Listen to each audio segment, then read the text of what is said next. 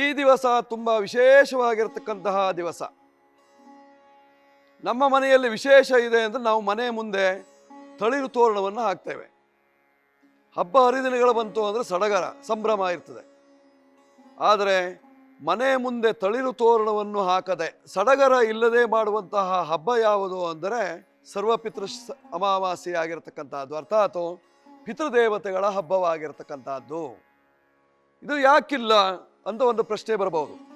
ನೋಡಿ, ಸಾಧಾರಣವಾಗಿ ಪಿತೃದೇವತೆಗಳಿಗೆ ಒಂದು ಕ್ರಮ ಇದೆ. ಅವರು ಗತಿಸಿ ಹೋದ ನಂತರದಲ್ಲಿ ಪಿತೃಲೋಕದಲ್ಲಿದ್ದುಕೊಂಡೆ. ಅವರು ತಮ್ಮ ಕುಟುಂಬವನ್ನು ನೋಡುವಂತಹ ಒಂದು ಪದ್ಧತಿ ಇರತಕ್ಕಂತಹದ್ದು. ಆ ಪದ್ಧತಿಯನ್ನು ಆಚರಣೆ ಮಾಡುವಾಗ ಇವತ್ತಿನ ದಿವಸ ಮನೆ ಮುಂಭಾಗದಲ್ಲಿ ರಂಗವಲ್ಲಿಯನ್ನು ಹಾಕಬಾರದು. ನೋಡಿ, ರಂಗೋಲಿ ಇದ್ದ ಮನೆಗೆ ಪಿತೃದೇವತೆಗಳು ಬರುವುದಿಲ್ಲ. ಪಿತೃಗಳೆಲ್ಲರೂ ಸಹಿತವಾಗಿ ರಂಗವಲ್ಲಿ ಇದ್ದ ಮನೆಗೆ ಬರುವುದಿಲ್ಲ. ಆದ್ದರಿಂದ ಮನೆಯ ಮುಂಭಾಗದಲ್ಲಿ ರಂಗವಲ್ಲಿಯನ್ನು ಹಾಕಬಾರದು.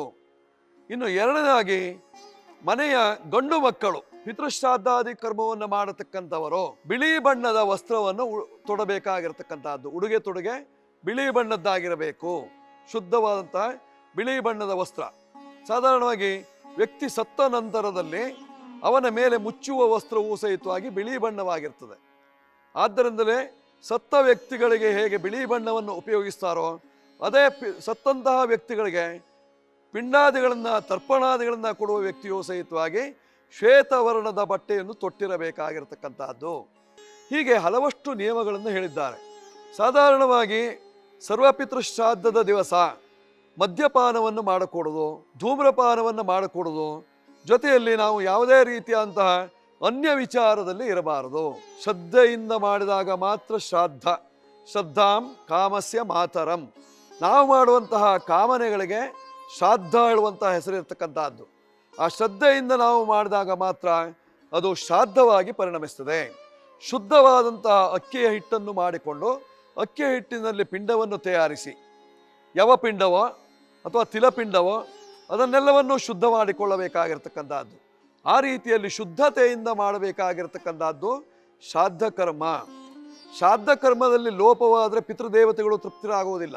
ಒಮ್ಮೆ ದೇವತಾ ಪೂಜೆಯಲ್ಲಿ ಲೋಪವಾದರೂ ಸಹಿತವಾಗಿ ಸ್ವರವರ್ಣ ಮಂತ್ರತಂತ್ರ ಲೋಪದೋಷ ಪ್ರಾಯಶ್ಚಿತ್ತಾರ್ಥಂ ನಾಮತ್ರಯ ಜಪಮಹಂಕರಿಷ್ಯೆ. ನಾಮತ್ರಯವನ್ನು ಹೇಳಿಬಿಟ್ರೆ ಸೂರ್ಯ ಬಲಗಣ್ಣು, ಎಡಗಣ್ಣು, ಕಿವಿ ಮುಟ್ಕೊಂಡು ಬಿಟ್ರೆ ಎಲ್ಲವೂ ತೃಪ್ತಿ ಆಯಿತು ಅಂತ. ಆದರೆ ಶ್ರಾದ್ದ ಕರ್ಮದಲ್ಲಿ ಮಾತ್ರ ಹಾಗಿಲ್ಲ. ಶ್ರದ್ಧೆಯಿಂದ ಮಾಡಬೇಕಾಗಿರ್ತಕ್ಕಂಥದ್ದು ಶ್ರಾದ್ದ ಕರ್ಮವನ್ನು. ಶ್ರದ್ಧೆಯಿಂದ, ಶ್ರದ್ಧಾಂತಃಕರಣದಿಂದ, ಶುದ್ಧಾಂತಃಕರಣದಿಂದ ಯಾರು ಶ್ರಾದ್ದಾದಿ ಕರ್ಮವನ್ನು ಮಾಡ್ತಾರೆಯೋ ಆ ಶ್ರಾದ್ದವು ನೇರವಾಗಿ ಕಾಗೆಗಳ ಮೂಲಕವಾಗಿ, ವಾಯಸ, ಪೋಸ್ಟ್ಮೇನ್. ಯಾರು? ನಾವು ಇಲ್ಲಿ ಕೊಟ್ಟದ್ದನ್ನು ಅಲ್ಲಿ ಮುಟ್ಟಿಸುವವರು ಕಾಗೆಗಳು, ಪೋಸ್ಟ್ಮೇನ್ ಇದ್ದ ಹಾಗೆ. ಪೋ ಇಲ್ಲಿ ನಾವು ಪೋಸ್ಟ್ ಹಾಕಿದರೆ ಅಲ್ಲಿ ತೊಗೊಂಡೋಗಿ ಪೋಸ್ಟ್ಮೇನ್ ತೊಗೊಂಡೋಗಿ ಕೊಡ್ತಾನೆ. ಅದೇ ರೀತಿಯಲ್ಲಿ ಇಲ್ಲಿ ಕೊಟ್ಟಿದ್ದನ್ನು ಅಲ್ಲಿ ಮುಟ್ಟಿಸುವವರು ಕಾಗೆಗಳು. ಕಾಗೆಗಳು ಅವು ಏನು ಮಾಡ್ತವೆ? ವೀಕ್ಷಣೆಯನ್ನು ಮಾಡ್ತಾ ಇರ್ತದೆ. ಹಾಗಂತ ಅದಕ್ಕಿದ್ದದ್ದು ಒಂದೇ ಕಣ್ಣು, ಎರಡು ಕಣ್ಣಲ್ಲ. ಕಾಗೆಗೆ ಒಂದೇ ಕಣ್ಣಾದರೂ ಸಹಿತವಾಗಿ ಆ ಒಂದೇ ಕಣ್ಣಿಂದಲೇ ವೀಕ್ಷಣೆ ಮಾಡುವಷ್ಟು ಸಾಮರ್ಥ್ಯ ಇರತಕ್ಕಂಥದ್ದು. ಇಪ್ಪತ್ತೈದು ಯೋಜನೆಗಳಷ್ಟು ಅವರ ಕಣ್ಣು ಕಾಣಿಸ್ತದೆ ಅಂತೆ ಎಷ್ಟೇ ಮೇಲ್ಗಡೆ ಇಪ್ಪತ್ತೈದು ಯೋಜನ ಮೇಲ್ಭಾಗದಲ್ಲಿದ್ದರೂ ಸಹಿತವಾಗಿ ಭೂಮಿಯಲ್ಲಿಟ್ಟಂತಹ ಎಡೆಯನ್ನು ನೋಡುವಷ್ಟು ಸಾಮರ್ಥ್ಯ ಇರತಕ್ಕಂಥದ್ದು ಕಾಗೆಗಳಿಗೆ. ಆದ್ದರಿಂದ ಎಡೆಯನ್ನು ಕಾಗೆಗಳಿಗೆ ಇಟ್ಟು ಬಂದ ನಂತರದಲ್ಲಿ ಮನೆ ದೇವತೆಗಳಿಗೆ ಪೂಜೆಯನ್ನು ಮಾಡಿ.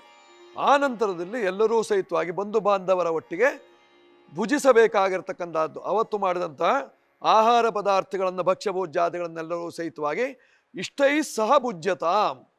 ಇಷ್ಟರೊಟ್ಟಿಗೆ ಸೇರಿ ಊಟವನ್ನು ಮಾಡಬೇಕಾಗಿರ್ತಕ್ಕಂಥದ್ದು. ಇದು ಅತ್ಯಂತ ಶುದ್ಧತೆಯಿಂದ ಮಾಡಿದಾಗ ಶ್ರಾದ್ದವಾಗಿ ಪರಿಣಮಿಸ್ತದೆ. ಇದನ್ನೆಲ್ಲವನ್ನೂ ಮಾಡುವಾಗ ಪವಿತ್ರ ಪಾಣರಾಗಿರಬೇಕಾಗಿರ್ತಕ್ಕಂಥದ್ದು ದರ್ಭೆಯಿಂದ ಪವಿತ್ರವನ್ನು ಮಾಡಿ ಹಾಕಿಕೊಳ್ಳಬೇಕು. ದರ್ಬೆ ಇಲ್ಲದೆ ಇದ್ದದ್ದವರು ಕೈ ಮುಗಿದ್ರೂ ಸಹಿತವಾಗಿ ಅನುಕೂಲವೇ. ಜೊತೆಯಲ್ಲಿ ಪವಿತ್ರ ಪಾಣಿಹಿ ಆಚಮ್ಯ ಪ್ರಾಣಾನಾಯಮ್ಯ ಸಂಕಲ್ಪ ಇರ್ತದೆ ಅದಕ್ಕೂ. ಅಲ್ಲಿ ವಿಷ್ಣು ಶ್ರಾದ್ದ, ಯಾವುದೇ ಶ್ರಾದ್ದದಲ್ಲೂ ಸಂಕಲ್ಪ ಇದ್ದೇ ಇರ್ತದೆ. ಸಂಕಲ್ಪ ಪೂರ್ವ, ಪೂರ್ವಕವಾಗಿ ಮಾಡಬೇಕಾಗಿರತಕ್ಕಂಥದ್ದು. ಆ ಸಂಕಲ್ಪವನ್ನು ಮಾಡುವಂತಹ ಸಂದರ್ಭದಲ್ಲಿ, ಪವಿತ್ರ ಧಾರಣೆಯನ್ನು ಮಾಡುವಂತಹ ಸಂದರ್ಭದಲ್ಲಿ ದರ್ಭೆಯ ಪವಿತ್ರೆಯನ್ನು, ಪವಿತ್ರವನ್ನೇ ಹಾಕಿಕೊಳ್ಳಬೇಕು. ಆ ದರ್ಭೆಯ ಪವಿತ್ರವನ್ನು ಹಾಕಿಕೊಳ್ಳುವಾಗ ನಾವು ಉಂಗುರದ ಬೆರಳಿಗೆ ಹಾಕಿಕೊಳ್ಳಬೇಕು. ಹಾಗಂತ ಉಂಗುರದ ಬೆರಳಿನಲ್ಲಿ ಉಂಗುರ ಇದೆ ಅಂತ ಆದರೆ ಆ ಉಂಗುರವನ್ನು ತೆಗೆದು ಬೇರೆ ಬೆರಳಿಗೆ ಹಾಕ್ಕೊಂಡು ಅಲ್ಲಿ ಪವಿತ್ರ ಹಾಕ್ಕೊಳ್ಬೇಕು. ಆ ಉಂಗುರ ಇದ್ದ ಬೆರಳಿಗೆ ಉಂಗುರ ಸಹಿತವಾಗಿ ಪವಿತ್ರ ಹಾಕ್ಕೊಂಡ್ರೆ ಅದು ಅಪವಿತ್ರವಾಗ್ತಿದೆ ವಿನಃ ಪವಿತ್ರವಾಗುವುದಿಲ್ಲ. ಜೊತೆಯಲ್ಲಿ ಶ್ರಾದ್ದ ಕರ್ಮವನ್ನು ಮಾಡುವವನು ಅಲಂಕಾರವನ್ನು ಮಾಡಿಕೊಂಡು ಮಾಡುವುದಲ್ಲ. ಮನೆಯಲ್ಲಿದ್ದ ಬಂಗಾರ ಎಲ್ಲ ಮೈಮೇಲೆ ಹಾಕ್ಕೊಂಡು ಅಥವಾ ಕತ್ತಿಗೆ ದೊಡ್ಡ ಸರಪಳಿ, ಸರವನ್ನು ಹಾಕ್ಕೊಂಡು ಆ ರೀತಿಯಲ್ಲಿ ಮಾಡೋದಲ್ಲ ನಿರಾಭರಣನಾಗಿ ಮಾಡಬೇಕಾಗಿರ್ತಕ್ಕಂಥದ್ದು ಏನೇ ಆಭರಣ ಇರಲಿ ಆಭರಣವೆಲ್ಲ ತೆಗೆದು ಬದಿಗಿಟ್ಟು, ಕೈಯಲ್ಲಿದ್ದ ಉಂಗುರಾದಿಗಳನ್ನು ಖಡಗಾದಿಗಳನ್ನು ಅಥವಾ ಕತ್ತಿಗೆ ಹಾಕಿದಂತಹ ಮಾಲೆಯನ್ನು ಎಲ್ಲವನ್ನೂ ತೆಗೆದು ಬದಿಗಿಟ್ಟು ಶ್ರಾದ್ದ ಕರ್ಮವನ್ನು ಮಾಡಬೇಕು.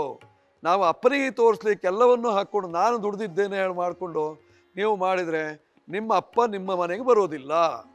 ಆದ್ದರಿಂದ ಸ್ವಲ್ಪ ಜಾಗೃತಿಯಾಗಿರಬೇಕು. ಸತ್ತವರಿಗೆ ಬಂಗಾರ ಬೇಕಾಗಿಲ್ಲ. ಇದ್ದವರಿಗೆ ಬಂಗಾರ. ಆದ್ದರಿಂದ ನೀವು ಬಂಗಾರದ ಬಾಳು ಬಾಳಬೇಕು ಅಂದರೆ ಸತ್ತವರನ್ನು ಸಂತೃಪ್ತಿಯಲ್ಲಿ ನೋಡ್ಕೊಳ್ಬೇಕಾಗಿರ್ತಕ್ಕಂಥದ್ದು. ನಿಮಗೆ ಬಂಗಾರದ ಬಾಳು ಬಾಳಬೇಕು. ಸತ್ತವರನ್ನ ಸನ್ ಗತಿಸಿ ಹೋದವ್ರನ್ನ ಸಂತೃಪ್ತಿಪಡಿಸಿ ಆಗ ನೀವು ಬಂಗಾರದ ಬಾಳನ್ನು ಬಾಳ್ತೀರಿ. ಶುಭವಾಗುತ್ತೆ, ಒಳ್ಳೆಯದಾಗುತ್ತೆ.